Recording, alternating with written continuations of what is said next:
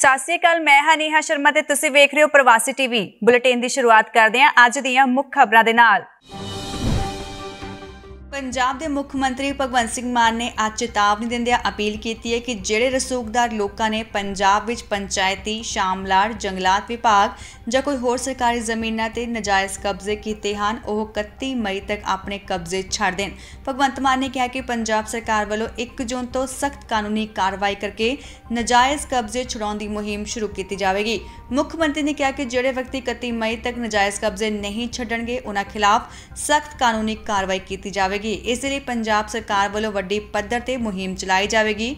ਭਗਵੰਤ ਮਾਨ ਨੇ ਵਿਸ਼ੇਸ਼ ਤੌਰ ਤੇ ਸਰਕਾਰੀ ਜ਼ਮੀਨਾਂ ਤੇ ਨਜਾਇਜ਼ ਕਬਜ਼ੇ ਕਰੀ ਬੈਠੇ ਵਿਅਕਤੀਆਂ ਖਿਲਾਫ ਸਖਤ ਐਕਸ਼ਨ ਲੈਣ ਦੀ ਗੱਲ ਕਹੀ ਹੈ। ਗੌਰਤਲਬ ਹੈ ਕਿ ਪੰਜਾਬ ਸਰਕਾਰ ਵੱਲੋਂ ਸਾਲ 2022 ਤੋਂ ਪੰਚਾਇਤੀ, ਸ਼ਾਮਲਾਟ ਅਤੇ ਜੰਗਲਾਤ ਵਿਭਾਗ ਦੀ ਜ਼ਮੀਨ ਤੋਂ ਨਜਾਇਜ਼ ਕਬਜ਼ੇ ਛੁਡਾਉਣ ਦੀਆਂ ਕੋਸ਼ਿਸ਼ਾਂ ਜਾਰੀ ਹਨ।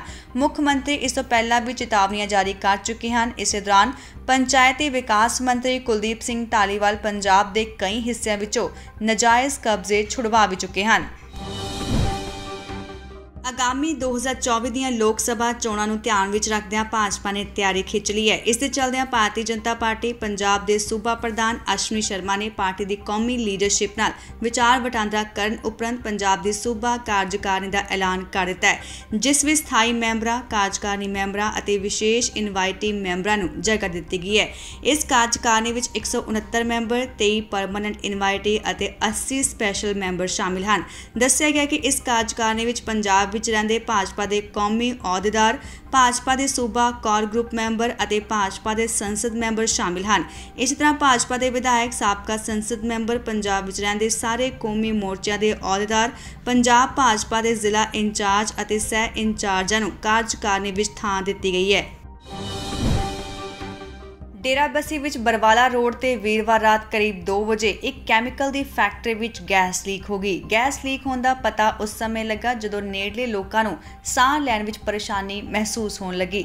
ਇਸ ਦਾ ਪਤਾ ਲੱਗਦੇ ਹੀ ਰੈਸਕਿਊ ਟੀਮ ਪੋਲੂਸ਼ਨ ਵਿਭਾਗ ਅਤੇ ਮੈਡੀਕਲ ਟੀਮ ਤੁਰੰਤ ਮੌਕੇ ਤੇ ਪਹੁੰਚ ਗਈ। ਜਿਸ ਮੌਕੇ ਇਹ ਗੈਸ ਲੀਕ ਹੋਈ, ਉਸ ਸਮੇਂ ਫੈਕਟਰੀ ਵਿੱਚ ਨਾਈਟ ਸ਼ਿਫਟ ਵਿੱਚ ਕਰੀਬ 50 ਮਜ਼ਦੂਰ ਕੰਮ ਕਰ ਰਹੇ ਸਨ। ਗੈਸ ਲੀਕ ਹੋਣ ਨਾਲ ਉੱਥੇ ਕੰਮ ਕਰ ਰਹੇ ਸਾਰੇ ਮਜ਼ਦੂਰਾਂ ਦੀ ਤਬੀਅਤ ਖਰਾਬ ਹੋਣ ਲੱਗੀ ਤੇ ਉਹ ਦੌੜ ਕੇ ਫੈਕਟਰੀ ਵਿੱਚੋਂ ਬਾਹਰ ਬਾਹਰ ਚਲੇ ਗਏ। ਇਸ ਦੇ ਚਲਦਿਆਂ ਫਾਇਰ ਬ੍ਰਿਗੇਡ ਨੇ ਮੌਕੇ ਤੇ ਪਹੁੰਚ ਕੇ ਸਥਿਤੀ ਤੇ ਕਾਬੂ ਪਾ ਲਿਆ ਸੀ। ਦੱਸਿਆ ਜਾ ਰਿਹਾ ਕਿ ਇਹ ਗੈਸ ਲੀਕ ਹੋ ਕੇ ਰਿਹਾਇਸ਼ੀ ਇਲਾਕੇ ਵਿੱਚ ਫੈਲ ਗਈ ਤੇ ਲੋਕਾਂ ਨੂੰ ਅੱਖਾਂ ਵਿੱਚ ਜਲਨ ਤੇ ਸਾਹ ਲੈਣ ਵਿੱਚ ਦਿੱਕਤ ਆਉਣ ਲੱਗ ਪਈ। ਫੈਕਟਰੀ ਪ੍ਰਬੰਧਕਾਂ ਅਨੁਸਾਰ ਫਾਇਰ ਬ੍ਰਿਗੇਡ ਨੇ ਡੇਢ ਘੰਟੇ ਬਾਅਦ ਇਸ ਤੇ ਕਾਬੂ ਪਾਇਆ। ਦੱਸਣਯੋਗ ਹੈ ਕਿ ਲੰਗੀ 30 ਅਪ੍ਰੈਲ ਨੂੰ ਲੁਧਿਆਣਾ ਵਿੱਚ ਗੈਸ ਲੀਕ ਹੋਣ ਦੀ ਘਟਨਾ ਵਾਪਰੀ ਸੀ। ਇਸ ਤੋਂ ਬਾਅਦ ਗੈਸ ਲੀਕ ਹੋਣ ਦੀ ਦੂਜੀ ਘਟਨਾ ਨੰਗਲ ਵਿੱਚ 11 ਮਈ ਨੂੰ ਹੋਈ ਸੀ, ਜਿਸ ਨਾਲ ਸਕੂਲ ਦੇ ਬੱਚਿਆਂ ਨੂੰ ਬਹੁਤ ਜ਼ਿਆਦਾ ਮੁਸ਼ਕਿਲ ਹੋਈ ਸੀ। ਹੁਣ ਗੈਸ ਲੀਕ ਹੋਣ ਦੀ ਤੀਜੀ ਘਟਨਾ ਡੇਰਾਬੱਸੀ ਵਿੱਚ ਵਾਪਰੀ ਹੈ, ਪਰ ਮਾਹਿਰ ਅਜੇ ਤੱਕ ਗੈਸ ਲੀਕ ਹੋਣ ਦੀਆਂ ਘਟਨਾਵਾਂ ਦਾ ਪਤਾ ਨਹੀਂ ਲਗਾ ਸਕੇ। ਪੁਲਿਸ ਅਧਿਕਾਰੀਆਂ ਅਤੇ ਕਰਮਚਾਰੀਆਂ ਦੀ ਤੰਦਰੁਸਤੀ ਨੂੰ ਧਿਆਨ ਵਿੱਚ ਰੱਖਦੇ ਹੋਏ ਹਰਿਆਣਾ ਦੇ ਸਿਹਤ ਮੰਤਰੀ ਅਨਿਲ ਵਿਜ ਨੇ ਇੱਕ ਆਦੇਸ਼ ਜਾਰੀ ਕੀਤਾ ਹੈ। ਜਾਰੀ ਕੀਤੇ ਗਏ ਨਿਰਦੇਸ਼ ਵਿੱਚ ਉਹਨਾਂ ਕਿਹਾ ਕਿ ਵੱਧ ਭਾਰ ਵਾਲੇ ਪੁਲਿਸ ਕਰਮਚਾਰੀਆਂ ਦਾ ਪੁਲਿਸ ਲਾਈਨ ਵਿੱਚ ਤਬਾਦਲਾ ਕੀਤਾ ਜਾਵੇ ਅਤੇ ਕਸਰਤ ਰਾਹੀਂ ਫਿਟਨੈਸ ਹਾਸਲ ਕਰਨ ਤੋਂ ਬਾਅਦ ਹੀ ਉਹ ਇੱਕ ਵਾਰ ਫਿਰ ਤੋਂ ਡਿਊਟੀ ਜੁਆਇਨ ਕਰ ਸਕਦੇ ਹਨ। ਦੱਸਿਆ ਗਿਆ ਕਿ ਮੋਟਾਪਾ ਘਟਾਉਣ ਲਈ ਯੋਗਾ ਟ੍ਰੇਨਰ ਵੀ ਮੌਜੂਦਾ ਰਹੇਗਾ ਤੇ ਨਾਲ ਹੀ ਫਾਰਮਾਸਿਸਟ ਵੀ ਇਸ ਦੌਰਾਨ ਪੁਲਿਸ ਲਾਈਨ ਵਿੱਚ ਹਾਜ਼ਰ ਰਹੇਗਾ। ਸਿਹਤ ਮੰਤਰੀ ਨੇ ਯੋਗਾ ਕਰਨ ਦੀ ਸਲਾਹ ਵੀ ਦਿੱਤੀ ਹੈ ਧਿਆਨ ਰਹੇ ਕਿ ਇਸ ਤੋਂ ਪਹਿਲਾਂ 2022 ਵਿੱਚ ਵੀ ਹਰਿਆਣਾ ਪੁਲਿਸ ਦੇ ਡੀਜੀਪੀ ਵੱਲੋਂ ਇਸ ਸੰਬੰਧੀ ਆਦੇਸ਼ ਜਾਰੀ ਕੀਤੇ ਜਾ ਚੁੱਕੇ ਹਨ। ਦਿੱਲੀ ਦੇ ਸਾਬਕਾ ਉਪ ਮੁੱਖ ਮੰਤਰੀ ਅਤੇ ਆਮ ਆਦਮੀ ਪਾਰਟੀ ਦੇ ਸੀਨੀਅਰ ਆਗੂ ਮਨੀਸ਼ ਸਿਸੋਦੀਆ ਨੇ ਇੱਕ ਵਾਰ ਫਿਰ ਤਿਹਾੜ ਜੇਲ੍ਹ ਵਿੱਚੋਂ ਚਿੱਠੀ ਲਿਖੀ ਹੈ। ਇਸ ਚਿੱਠੀ ਨੂੰ ਅਰਵਿੰਦ ਕੇਜਰੀਵਾਲ ਨੇ ਟਵੀਟ ਕੀਤਾ ਹੈ। ਇਹ ਚਿੱਠੀ ਕਵਿਤਾ ਦੇ ਰੂਪ ਵਿੱਚ ਲਿਖੀ ਹੈ। ਇਸ ਵਿੱਚ ਮਨੀਸ਼ ਸਿਸੋਦੀਆ ਨੇ ਪ੍ਰਧਾਨ ਮੰਤਰੀ ਨਰਿੰਦਰ ਮੋਦੀ ਦੇ ਤੰਜ ਕੱਸਦੇ ਹੋਏ ਲਿਖਿਆ ਹੈ ਕਿ ਅਗਰ ਪੜ ਗਿਆ ਹਰ ਗਰੀਬ ਬੱਚਾ ਤਾਂ ਚੌਥੀ ਪਾਸ ਰਾਜਾ ਦਾ ਰਾਜ ਮਹਿਲ ਹਿਲ ਜਾਏਗਾ। ਇਸ ਤੋਂ ਪਹਿਲਾਂ ਵੀ ਸਿਸੋਦੀਆ ਨੇ ਲੰਗੀ 7 ਅਪ੍ਰੈਲ ਨੂੰ ਤਿਹਾੜ ਜੇਲ੍ਹ ਵਿੱਚੋਂ ਦੇਸ਼ ਦੇ ਨਾਮ ਚਿੱਠੀ ਲਿਖੀ ਸੀ, ਜਿਸ ਵਿੱਚ ਉਹਨਾਂ ਨੇ ਪ੍ਰਧਾਨ ਮੰਤਰੀ ਨਰਿੰਦਰ ਮੋਦੀ ਦੀ ਸਿੱਖਿਆ ਤੇ ਸਵਾਲ ਚੁੱਕੇ ਸਨ। ਉਹਨਾਂ ਨੇ ਲਿਖਿਆ ਸੀ ਕਿ ਮੋਦੀ ਮਾਨ ਨਾਲ ਕਹਿੰਦੇ ਹਨ ਕਿ ਪਿੰਡ ਦੇ ਸਕੂਲ ਤੱਕ ਹੀ ਉਹਨਾਂ ਦੀ ਪੜ੍ਹਾਈ ਹੋਈ ਹੈ। ਲੋਕ ਕੰਪਨੀ ਵਿੱਚ ਮੈਨੇਜਰ ਰੱਖਣ ਦੇ ਲਈ ਪੜ੍ਹਿਆ ਲਿਖਿਆ ਆਦਮੀ ਲੱਭਦੇ ਹਨ ਕਿ ਦੇਸ਼ ਦੇ ਸਭ ਤੋਂ ਵੱਡੇ ਮੈਨੇਜਰ ਨੂੰ ਪੜ੍ਹਿਆ ਲਿਖਿਆ ਨਹੀਂ ਹੋਣਾ ਚਾਹੀਦਾ।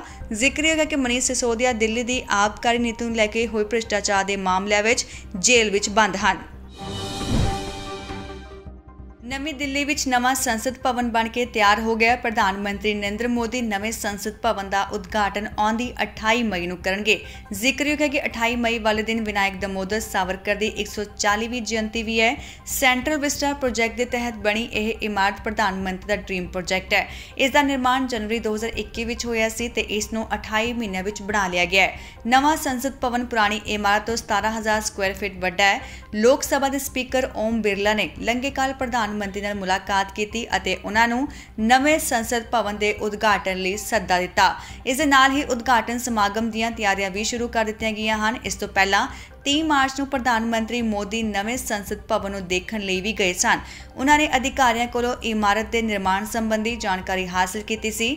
ਜ਼ਿਕਰਯੋਗ ਹੈ ਕਿ ਪੁਰਾਣਾ ਸੰਸਦ ਭਵਨ 47500 ਵਰਗ ਮੀਟਰ ਵਿੱਚ ਹੈ, ਜਦਕਿ ਨਵੀਂ ਇਮਾਰਤ 64500 ਵਰਗ ਮੀਟਰ ਵਿੱਚ ਬਣਾਈ ਗਈ ਹੈ। ਨਵੇਂ ਸੰਸਦ ਭਵਨ ਵਿੱਚ 4 ਮੰਜ਼ਿਲਾਂ ਹਨ। ਇਹ ਵੀ ਦੱਸਿਆ ਗਿਆ ਕਿ ਇਸ ਇਮਾਰਤ ਤੇ ਭੂਚਾਲ ਦਾ ਵੀ ਕੋਈ ਖਤਰਾ ਨਹੀਂ ਹੈ। ਚੀਫ ਜਸਟਿਸ ਡੀਵਾਈ ਚੰਦਰਚੂੜ ਨੇ ਅੱਜ ਜਸਟਿਸ ਪ੍ਰਸ਼ਾਂਤ ਕੁਮਾਰ ਮਿਸ਼ਰਾ ਅਤੇ ਸੀਨੀਅਰ ਵਕੀਲ ਕੇ ਵੀ ਵਿਸ਼ਵਨਾਥਨ ਨੂੰ ਸੁਪਰੀਮ ਕੋਰਟ ਦੇ ਜੱਜ ਵਜੋਂ ਸਹੁੰ ਚੁਕਾਈ। ਚੀਫ ਜਸਟਿਸ ਚੰਦਰਚੂੜ ਨੇ ਸੁਪਰੀਮ ਕੋਰਟ ਦੇ ਆਡੀਟੋਰੀਅਮ ਵਿੱਚ ਹੋਏ ਸਹੁੰ ਚੁੱਕ ਸਮਾਗਮ ਵਿੱਚ ਨਵੇਂ ਜੱਜਾਂ ਨੂੰ ਅਹੁਦੇ ਦੀ ਸਹੁੰ ਚੁਕਾਈ। ਜਸਟਿਸ ਮਿਸ਼ਰਾ ਅਤੇ ਜਸਟਿਸ ਵਿਸ਼ਵਨਾਥਨ ਦੇ ਸਹੁੰ ਚੁੱਕਣ ਦੇ ਨਾਲ ਸੁਪਰੀਮ ਕੋਰਟ ਵਿੱਚ ਜੱਜਾਂ ਦੀ ਗਿਣਤੀ 34 ਹੋ ਗਈ ਹੈ, ਜੋ ਇਸ ਦੀ ਪ੍ਰਵਾਨਿਤ ਗਿਣਤੀ ਹੈ। ਮੀਡੀਆ ਰਿਪੋਰਟਾਂ ਅਨੁਸਾਰ ਅਗਸਤ 2030 ਵਿੱਚ ਕੇਵੀ ਵਿਸ਼ਵਨਾਥਨ ਹੀ ਚੀਫ ਜਸਟਿਸ ਆਫ ਇੰਡੀਆ ਬਣਨਗੇ। ਵਿਸ਼ਵਨਾਥਨ 24 ਮਈ 2031 ਤੱਕ ਯਾਨੀ 9 ਮਹੀਨੇ ਤੋਂ ਜ਼ਿਆਦਾ ਦੇਸ਼ ਦੀ ਟਾਪ ਕੋਰਟ ਦੀ ਅਗਵਾਈ ਕਰਨਗੇ। ਸੁਪਰੀਮ ਕੋਰਟ ਕੋਲਜੀਅਮ ਨੇ 16 ਮਈ ਨੂੰ ਸੁਪਰੀਮ ਕੋਰਟ ਦੇ senior advocate K V Viswanathan ਅਤੇ ਆਂਧਰਾ ਪ੍ਰਦੇਸ਼ ਹਾਈ ਕੋਰਟ ਦੇ ਚੀਫ ਜਸਟਿਸ ਪ੍ਰਸ਼ਾਂਤ ਕੁਮਾਰ ਮਿਸ਼ਰਾ ਨੂੰ ਸੁਪਰੀਮ ਕੋਰਟ ਦਾ ਜੱਜ ਬਣਾਉਣ ਲਈ ਕੇਂਦਰ ਕੋਲ ਸਿਫਾਰਿਸ਼ ਕੀਤੀ ਸੀ। ਫਿਲਹਾਲ ਅੱਜ ਦੇ ਬੁਲੇਟਿਨ ਦੇ ਵਿੱਚ ਇੰਨਾ ਹੀ। ਹੋਰ ਖਬਰਾਂ ਲਈ ਵੇਖਦੇ ਰਹੋ ਪ੍ਰਵਾਸੀ ਟੀਵੀ। ਮੈਂ ਦਿਓ ਇਜਾਜ਼ਤ ਧੰਨਵਾਦ।